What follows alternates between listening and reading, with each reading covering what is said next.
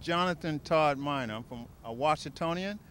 I've been associated with the ATA since 1993. And ever since then, I've been kind of like working behind the scene and also being a player.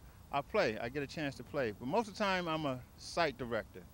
So I get to see the uh, youngsters. I see the ones that have come through when they're juniors. And now, since 1993, now they're not juniors they're actually coaches now by this time, and they're bringing kids to the ATA. The reason why I got involved with the ATA is, is uh, because it's a fine way to help our young people to uh, get a good start in life. And tennis is just an avenue that uh, I would like to use as, to help them because we know in our time in which we live now, we need education. Tennis is an excellent way of having an education to help a person to prepare for life because it takes uh, discipline, it takes time and training, and it takes a lot of thought to play the game of tennis. So this will help us to make better decisions in life.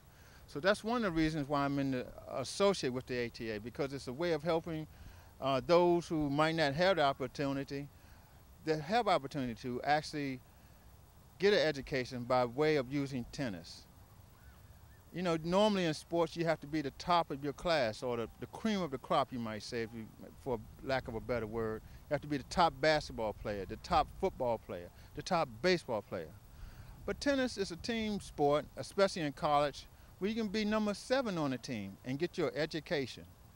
And the main thing, and what I like to do for people who do get education by way of tennis, we just ask that they give it back, grab someone, a youth, and pull them along. And maybe they can be the next Althea Gibson or Arthur Ashe, even if we might not do it in our time.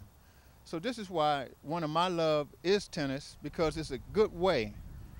And I, this is proven to me because I have people that have been juniors who now have master degrees and doctor's degree all behind a tennis ball. Some of them have gone on to be pros to bring other young ones through. So this is my way personally, me personally, of giving back to the community.